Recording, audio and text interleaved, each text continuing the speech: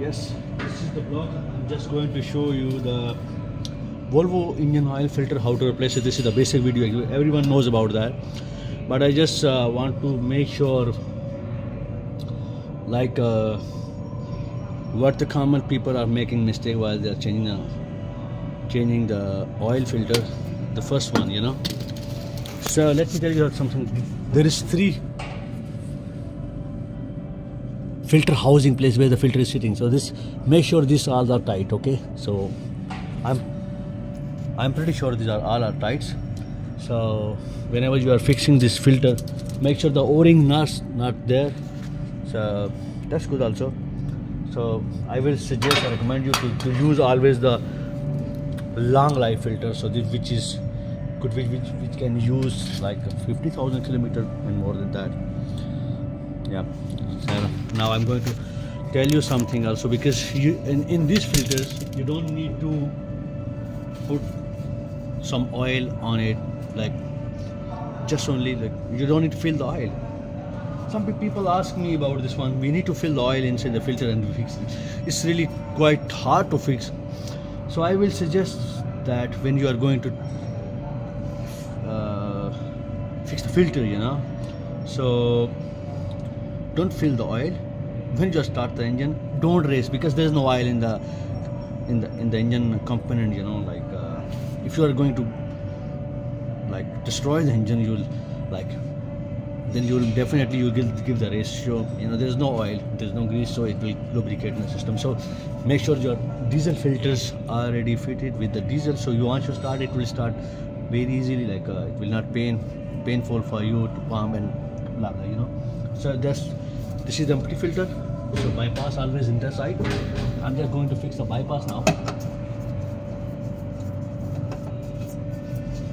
No pain. You see now? No pain.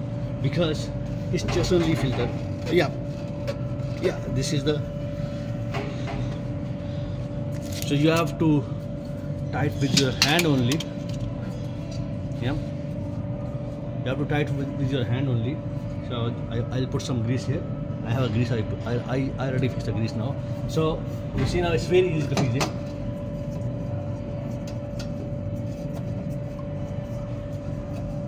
You see? And what you need to do you need to get the good rugs. Just turn where the filter will stop like you, you I know. I can give like uh, from my hand 10 to 15 liter torque is enough for these filters. Yeah so these filters are tight. So this is the last one. Volvo got three filters. As I told you because I, I already fixed the grease already it's already greased up. So now it's ready. Ready to go.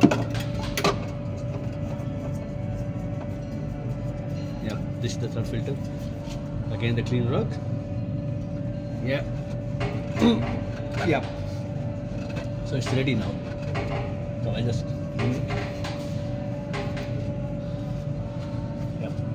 so this is the common mistake people are doing while they are fixing the filters. They, they just put the oil and then they st start dropping in the nose sometime in the eyes. So no need to put the oil. So most important thing is the last part because I fix it.